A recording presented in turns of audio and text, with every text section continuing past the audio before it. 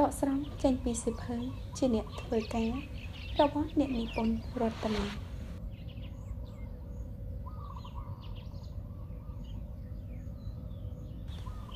ទៅទៅឲ្យល្អ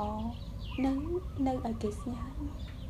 ចង់ធ្វើការចាក់ចេញដើម្បីឲ្យគេស្ញាយចូលអ្នកធ្វើការចាក់ចេញដោយមានហេតុផលច្បាស់លាស់ពិសេសត្រូវដើរទៅតាមគោលការណ៍ប្រកបប្រជារបស់អ្នក ចងចាំទុកថាកុំខ្វល់ថាអ្នកបានឆ្លងកាត់ក្តៅត្រជាក់យ៉ាងណាខ្លះនៅទីនោះអ្នកត្រូវរក្សាគុណតម្លៃរបស់អ្នករហូតដល់ចុងក្រោយដែលអ្នកចាក់ចេញទៅទៅឲ្យល្អនិងនៅឯគេស្ងាត់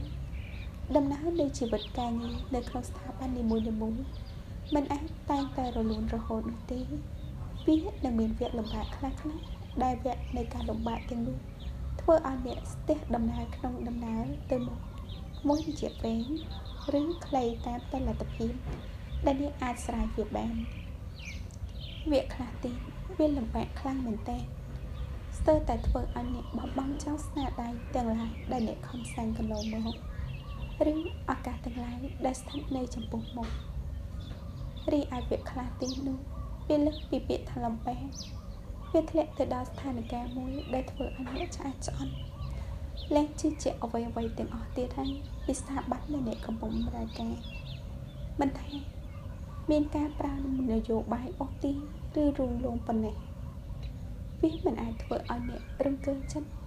ចេញពីអារម្មណ៍សោះកក្រោះចំពោះស្ថាប័ននោះបានឡើយ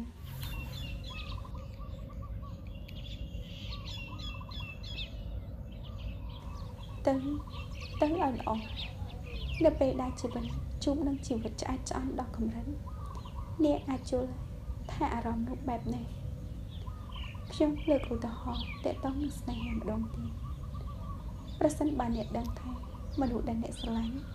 បានក្បត់ចិត្តអ្នកម្ដងហើយម្ដងទៀតតើអ្នកអាចលើកលែងឲ្យគេបានប៉ុន្មានដងអាចទ្រាំរក្សាក្តីស្នេហាជាមួយមនុស្សក្បត់បានជួបប៉ុណ្ណាស្នេហា ដែលស្រស់បំព្រងវាបានមកពីការកសាងក្តីស្រឡាញ់ដល់បានល្ហានការព្យាយាមចូលចិត្តគ្នានិងមានចិត្តស្មោះស្ម័គ្រឲ្យគ្នាជាការព្រមលះបង់ឲ្យគ្នាទៅវិញទៅមករវាងមនុស្សពីរនាក់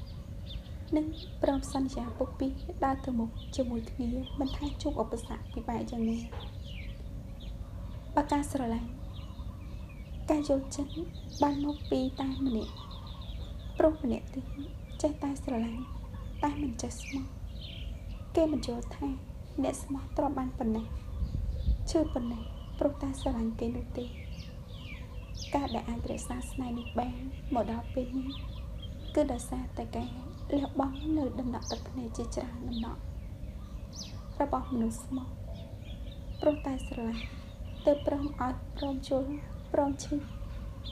ព្រមចាំព្រមទ្រង់ តែការទ្រាំ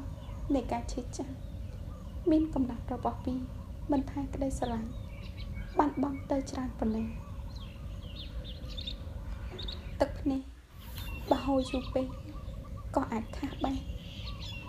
នៅពេលដែលមនុស្សជុំគ្មានទឹកភ្នែកអារម្មណ៍មួយនោះបញ្ជាក់ថាឈឺលើសពីឈឺនៅពេលដែលឈឺដល់កម្រិត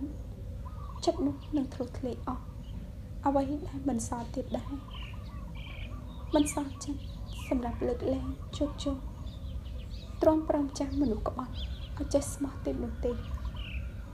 នៅពេលជាពេលដែលមនុស្សស្មោះទោះស្រឡាញ់ប៉ុណ្ណាក៏ឆ្អែតចិត្តដែរនៅពេលដែលឆ្អែតឆ្អន់ចិត្តហើយអ្វីក៏លែងចង់បានទៀតដែរកុំសុំឱកាសកុំសន្យាស្មោះទោះអស់ចិត្តស្មោះភ្លាមភ្លាមតែម្ដងក៏មិនចង់បានទៀតដែរ ព្រោះអ្វីដែលមនុស្សឆ្អែតចិត្តត្រូវការបំផុតពេលនេះគឺការចាក់ចេញការចាក់ចេញរបស់មនុស្សស្មោះគឺជាការបាត់បង់ដ៏គួរឲ្យសោកស្ដាយបំផុតវានឹងផ្ដល់លទ្ធផលឲ្យមនុស្សក្បត់នៅវិបដិសារីថ្ងៃមួយនៅពេលដែលមនុស្សក្បត់រលឹកដល់ការបាត់បង់មួយនោះគេនឹងមានការសោកស្ដាយថ្ងៃនោះមកដល់ បើទោះចង់សងភក្តីភាពឬលុបសាសកំហុសឆ្គងក៏ហួសពេលហើយរីឯមនុស្សស្មោះវិញគាត់នឹងមិនសោកស្ដាយអ្វីទាំងអស់មុនពេលនិងក្រោយពេលចាក់ចេញព្រោះកន្លងមកមនុស្សស្មោះបានធ្វើគ្រប់ទស្សនវិធីរបស់គាត់រួចហើយគាត់ស្រឡាញ់រួចហើយគាត់ស្មោះរួចហើយគាត់ជឿចិត្តរួចហើយគាត់លះបង់អស់ហើយ ឈឺចាស់ឆ្អែតហើយទៅគាត់ចាក់ចេញរួចហើយពាក្យរួចហើយមានន័យថាបានបញ្ចប់ហើយมันបន្តទៀតនោះទេដូច្នេះបើមានពាក្យរួចហើយគឺមានន័យថាមិនធ្វើទៀតទេដូច្នេះអ្វីដែលមនុស្សក្បត់នៅសោះគឺអស់ឱកាសចំពោះស្នេហា មនុស្សស្មោះប្រៀបបាននឹងគ្រប់ពេជ្រមានតម្លៃចំពោះស្ថាប័នធ្វើការក៏ដូចគ្នាបុគ្គលិកស្មោះត្រង់និងមានសមត្ថភាពគឺជាគ្រប់ពេជ្រមានតម្លៃប្រសិនបើអ្នកខ្លាចជាគ្រប់ពេជ្រដែលគ្មានអ្នកណាមើលឃើញសួរថាវាជាកំហុសរបស់គ្រប់ពេជ្រដែរមិនអាចបញ្ចេញពន្លឺនៅក្នុងទីងងឹតឬជាកំហុសរបស់ទីងងឹតមួយនេះ ដែលមិនអាចមានលទ្ធភាពគ្រប់គ្រាន់ឲ្យគ្រប់ពេជ្រជះពន្លឺបានអត់មានអ្នកណាខុសទេវាជាការស័កសមនិងមិនស័កសមទៅវិញទេគ្រប់ពេញមិនស័កសមប្រកបខ្លួននៅក្នុងកណ្ដាលងងឹតដូច្នេះគ្រប់ពេញនិងទីងងឹតគូនៅទីតេពីគ្នាដើម្បីប្រយោជន៍រៀងខ្លួនបើអ្នកជឿជាក់ហើយ ថាខ្លួនឯងពិតជាគ្រប់ពេញមានពលិនៅគ្រប់មែនតើហេតុអីបានជាអ្នកនៅតែសងំលាក់ពលិនៅក្នុងទីងងឹតនោះទីតើអ្នកមិនចង់ផ្ដល់ឱកាសឲ្យខ្លួនឯងបានបញ្ចេញពលិទេឬកិនថាក្របពេជ្រមានតម្លៃនៅក្នុងស្ថាប័នព្រោះអ្នកជាបុគ្គលិកមានភាពស្មោះត្រង់និងមានសមត្ថភាពអ្នកពិតជាមានចំណុចពីរនេះមែនទេ មានភាពជឿជាក់ឬទេបើសិនបើអ្នកគិតថាមានតើភាពស្មោះត្រង់របស់អ្នកមានកម្រិតណាតើមានមនុស្សប៉ុន្មានអ្នកទេអាចជឿជាក់លើភាពស្មោះត្រង់របស់អ្នកបានចុះសមត្ថភាពទាំងស្រុងរបស់អ្នកមានកម្រិតណាដែរចូលដឹងថាអ្នកដើរមកដល់ចំណុចមួយនេះអ្នកមិនមែនជាកូនក្មេងទើបតែរៀនធ្វើការទៀតនោះទេអ្នកបានឆ្លងកាត់បទពិសោធន៍ជាច្រើន ជាបុគ្គលិកកំណត់ជាបុគ្គលិកឈានមកជារៀមច្បងជាអ្នកធ្លាប់ដល់ដំបូងមានធ្លាប់ផ្ដល់ការប្រឹក្សាជាអ្នកមានសមត្ថភាពដែលគេទទួលស្គាល់ក្នុងវិស័យការងារដូច្នេះចូលអ្នកកុំស្ទាក់ស្ទើរក្នុងការដើរចេញពីភាពកងឹតព្រោះនៅក្នុងភាពងងឹតជួបពីវាអាចធ្វើឲ្យក្របពេជ្រគ្មានតម្លៃឬក្របពេជ្រហើយជំនួសជាដុំគ្រោះបាន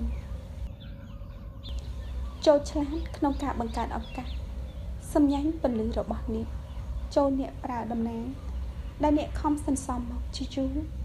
ដើម្បីជួយឲ្យអ្នកចេញផុតពីភាពងឹតមួយនេះចំណាមិញមុនធ្វើការចាក់ចេញអ្នកត្រូវធ្វើការរៀបចំ3គឺរៀបចំគម្រោងដើម្បីផ្លាស់ប្ដូររៀបចំខ្លួនដើម្បីផ្លាស់ប្ដូររៀបចំខ្លួន នៅពេលផ្លាស់ប្ដូរ